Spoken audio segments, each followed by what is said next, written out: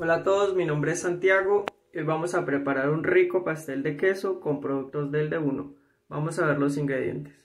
120 mililitros de leche, 12 huevos, 100 gramos de queso crema, azúcar pulverizada cantidad necesaria, 100 gramos de mantequilla, 60 gramos de harina de trigo y 60 gramos de fécula de maíz.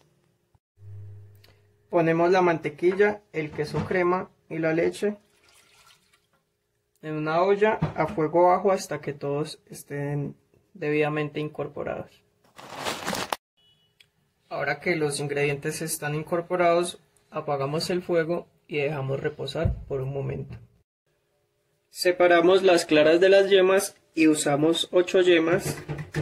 Incorporamos a la mezcla el queso crema, la mantequilla y la leche.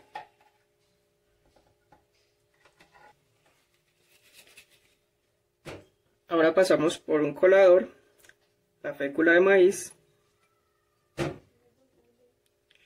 y la harina de trigo. Tamizamos.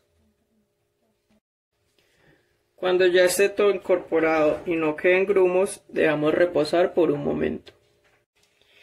Aparte vamos a batir 12 claras hasta punto de nieve y vamos agregándole el azúcar.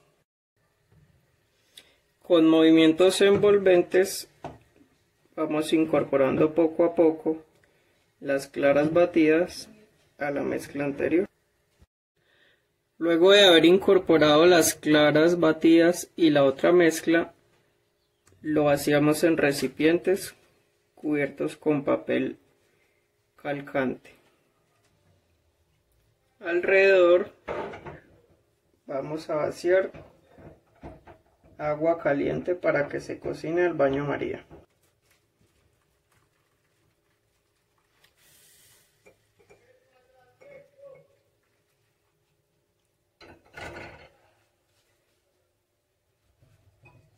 Y llevamos al horno a 160 grados por 20 minutos.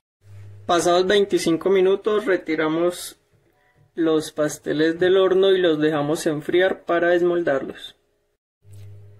Luego de desmoldar el cheesecake, lo espolvoreamos con azúcar pulverizada.